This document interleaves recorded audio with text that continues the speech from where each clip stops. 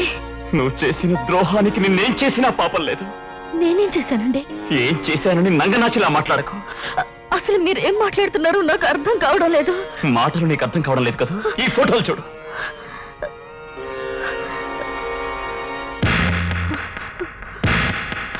ఏమండి ఇది నా తప్పు కాదండి.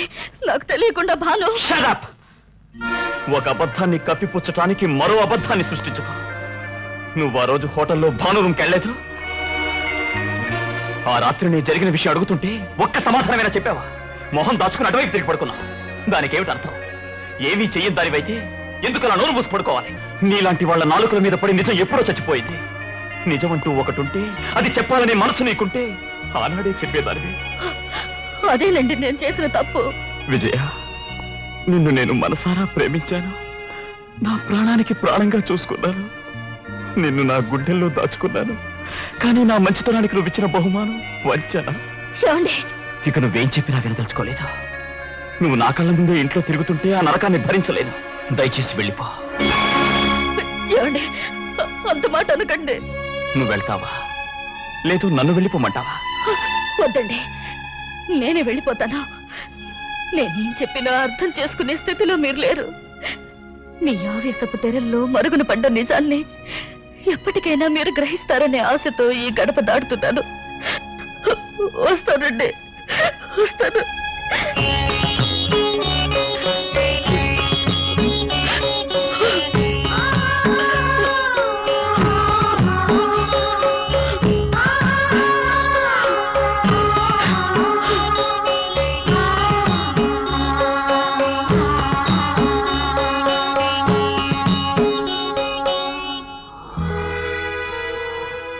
మనిషినైతే దూరం చేసుకున్నాను కానీ నా మనసును దూరం చేసుకోలేకపోయాను.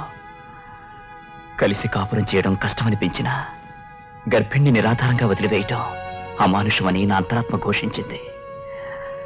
ఆవిడికి ఏదైనా ఒక జీవనోపాధి ఏర్పాటు చేయాలని నేను విడాకుల కోసం కోర్టులో అప్లై చేశాను. కానీ విజయ్ దానికి ఒప్పుకోలేదు. తొందరపాటుతో నేను తీసిన నిర్ణయం నాకే బాధ కలిగించింది. విజయను నాతో తీసుకొద్దామని నిర్ణయించుకున్నాను. కానీ విజయ్ దగ్గరికి ఏ సాకుతో వెళ్దామని ఆలోచిస్తున్నప్పుడు ఆమె సూట్ కేసు కనిపించింది.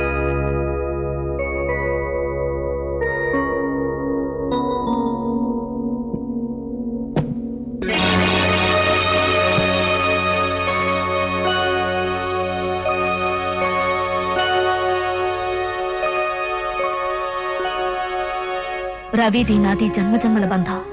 లేకపోతే అంత మంచి మనిషి నాకు ఎలా లభిస్తారా? నేను తల్లిని కాబోతున్నానని తెలిసి ఎంత సంతోషించిపోయారు రవి? నన్నెంతో అపురూపంగా చూసుకుంటున్నారు. ఆనందంగా సాగుతున్న నా జీవితంలో తుఫాన్ లేపడానికి ప్రయత్నిస్తున్నాడు భాను. నాకు తెలియకుండా నా ఫోటోలు తీసి నన్ను బ్లాక్మెయిల్ చేస్తున్నాడు.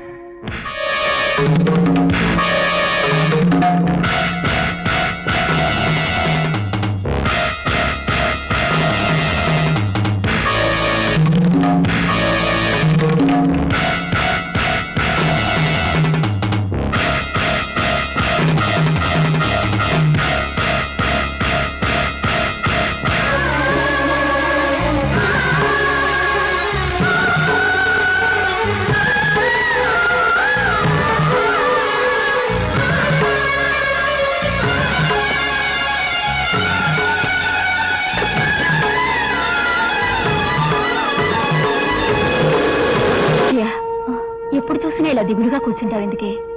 ఎప్పటికైనా రవివర్మ నిజం తెలుసుకుని నీకు జరిగిన అన్యాయానికి పశ్చాత్తపడుతూ నీ దగ్గరికి తిరిగి రాకపోడు. ధైర్యంగా ఉండు. నీ హాస్పిటల్కి వెళ్ళొస్తాను.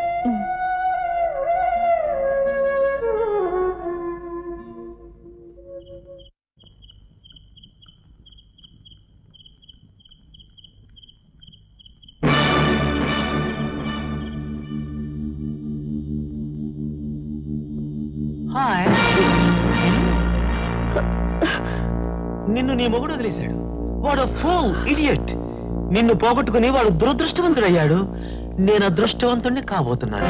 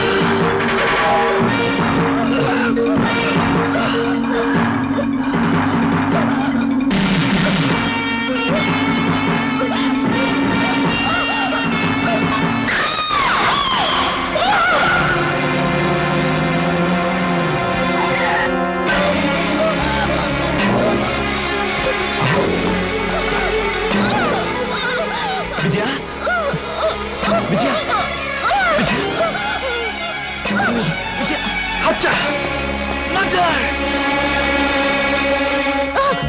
విజయ విజయ విజయ నేనే తప్పు చేయలేదు నువ్వు ఊరుకో విజయ. నేనంతా తెలుసుకుని నిన్ను తీసుకెళ్ళడానికే వచ్చాను. విజయ. విజయ. ఇప్పటికైనా మీరు నిజాన్ని తెలుసుకున్నారు. నాకంతే చాలు. ఏమండి? విజయ. విజయ విజయ విజయ విజయ విజయ